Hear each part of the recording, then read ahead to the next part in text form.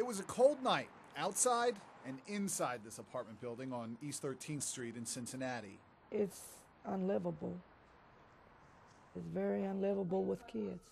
Jessica Brock and her three children huddled by two small space heaters.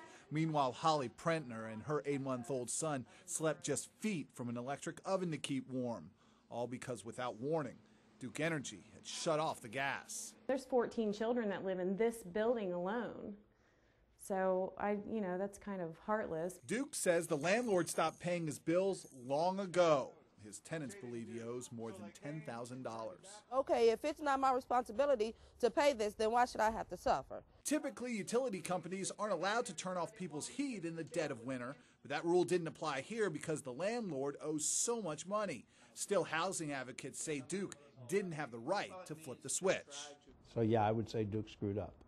By law, Duke is supposed to give 10 days' notice before turning off the heat to homes, but Duke's computer records were screwed up, listing the building as a commercial and not a residential property. No notification was made at this time, which was incorrect. We certainly apologize and regret, and we're working to get the uh, gas service turned back on.